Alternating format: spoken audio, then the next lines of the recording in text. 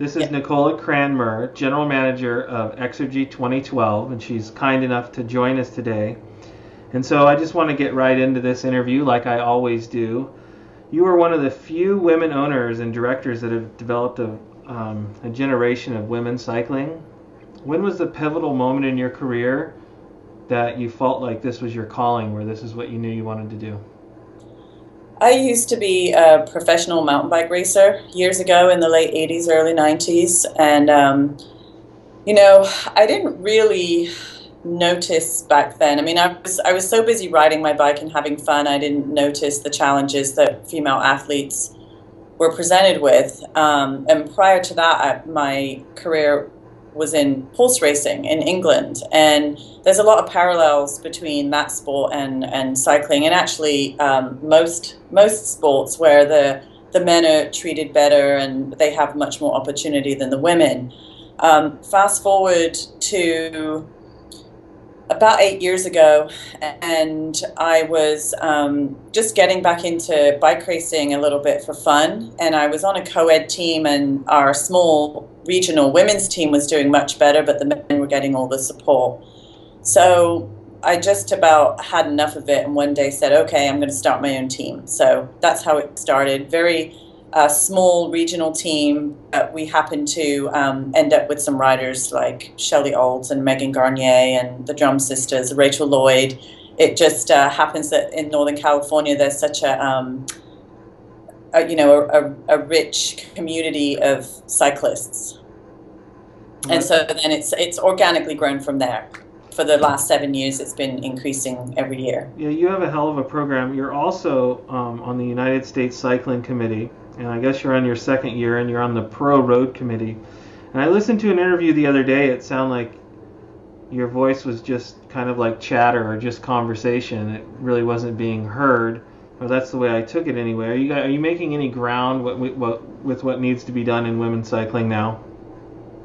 Yeah, I think so. I, I think um, this pretty much 2012 for me. I was buried in the changes in our team and the Olympics, and it was um, a really busy year, very successful year for us, but a very busy year. And now it's calmed down a little bit and I'm taking a look at what's going on in women's cycling, as are, you know, a few other women around the world in, in different teams, either in management or as um, athletes.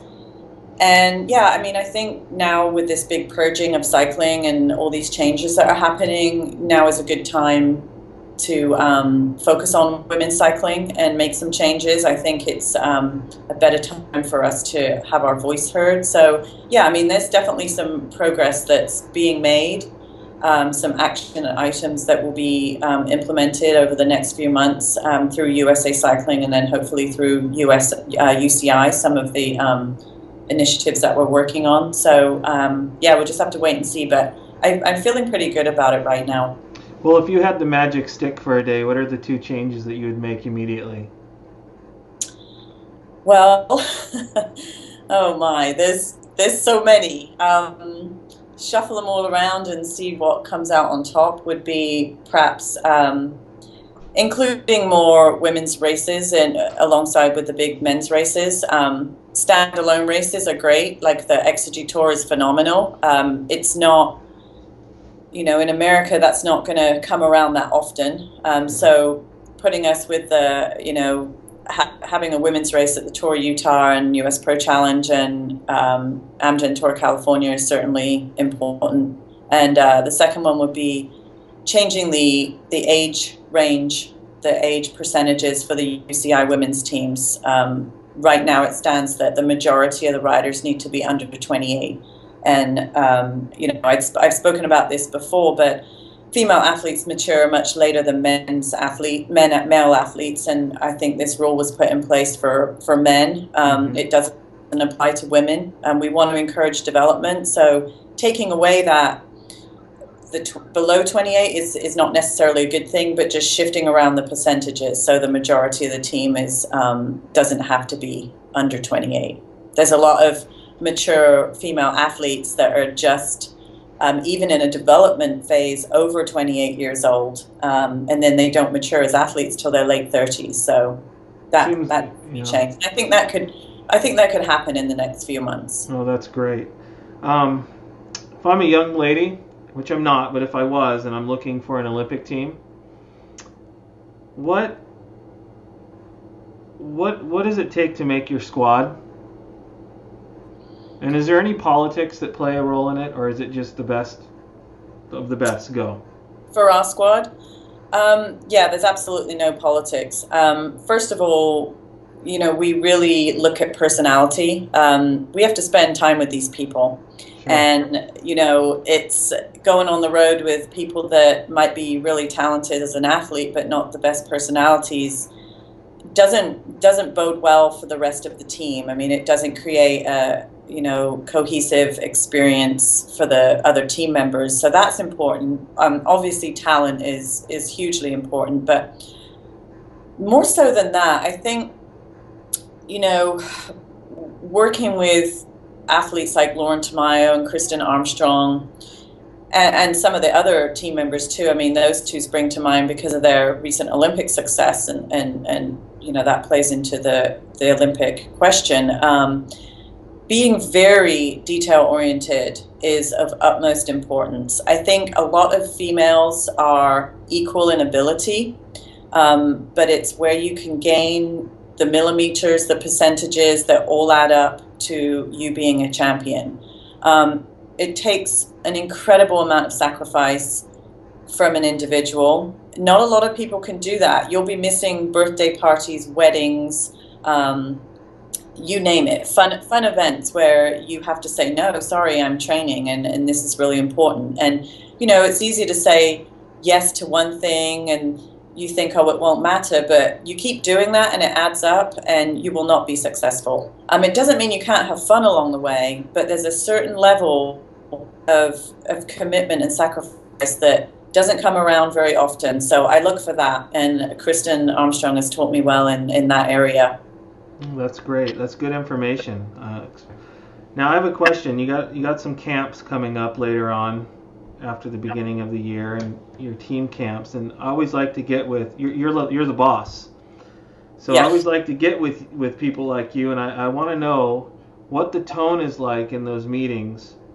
And and if and if I were sitting in one of those meetings, what could you teach me about sacrifice? In a meeting at a team camp, yeah, you mean? Like, like all the girls are just getting to know each other or they know each other, but you have new additions, you have people who are in, people who are out. Right. What that what how do you bring all those girls together and how do you teach them about sacrifice? Well, my role over the last few years have, has changed a lot. My job is becoming more corporate, so I would hire people to do that. Um, I'm sure you're good at it though.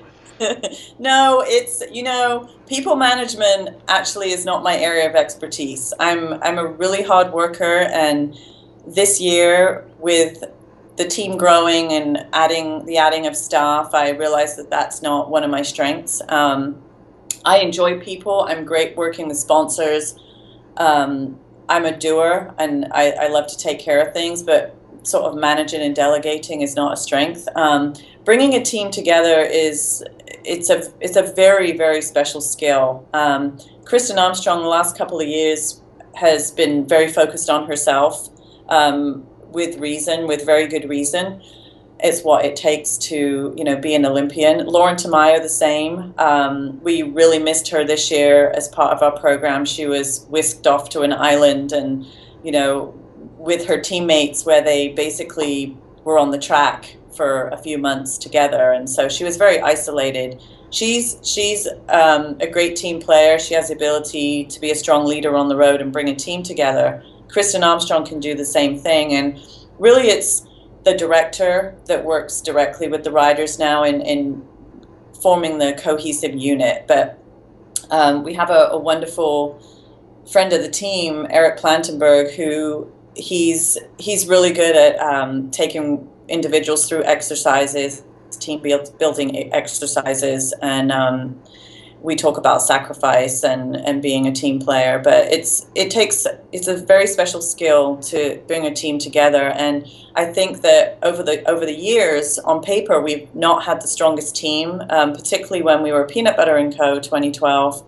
we had a lot of young riders and a couple of um, you know very talented riders, but it was being a cohesive unit that had us winning races everywhere we went. I mean, we I remember a perfect example was Mara Abbott at Cascade, and she had four teammates, and we were up against teams of eight. You know, Tibco and Colavita at the time, but it was just um, the fact that you know Kristin Armstrong spoke to those individuals on the team and and got the best out of each of them for a common goal, and that was to help Mara win the race.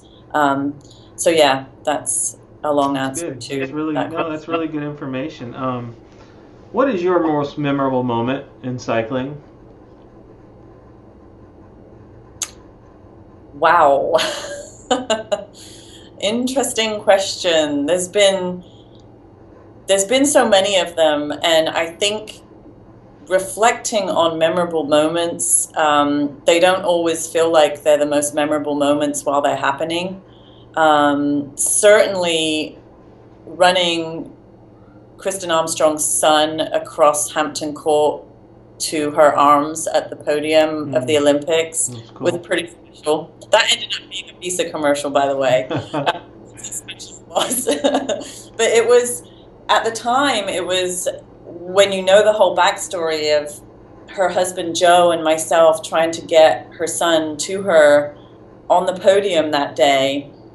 Um, it was really stressful, really stressful. But looking back, that's a goal that will really stick in my mind. It's um, something that she wanted. It was what motivated her to go for gold again, and it was that was a really special moment. But there's been there's been a lot of them, particularly when we were a regional team and you know our, our basically our home track was Hellyer Velodrome and we saw a lot of success there and we made some really huge leaps um, within a few months from being a regional team to a UCI track trade team and going to a World Cup and seeing one of my riders get on a World Cup podium for the first time. Um, was phenomenal for me, and and that was uh, Shelley Olds. Um, and the way we had got to those World Cups, we we threw barbecues at the track and held races to raise funds to get us to World Cups.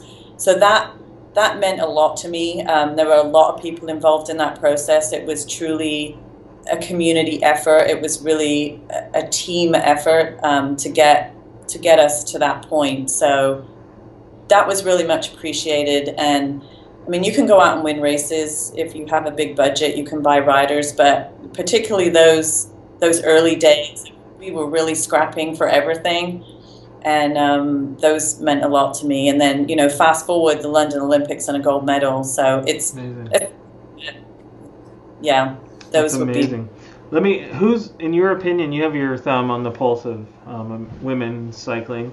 Who's the next Kristin Armstrong? I mean, she she can't do it forever. Who's coming up in the ranks, in your opinion?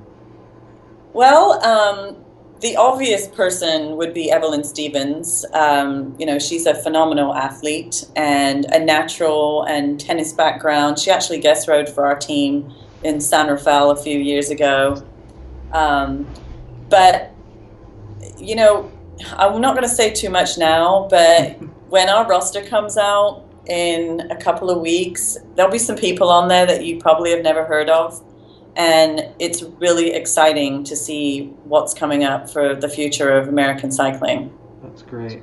Yeah. Well, I want to thank you for joining Cycling Illustrated, and I pretty much answered or asked all of my questions, and you answered them. Is there anything else that you wanted to add? Um, I do want to say congratulations on um, Cycling Illustrated, and I'm really stoked to see a lot of women's content. And you know, I really appreciate that, and I know a lot of women cyclists, or all women cyclists, would appreciate appreciate it too. So, I mean, good job there. Thank you very much.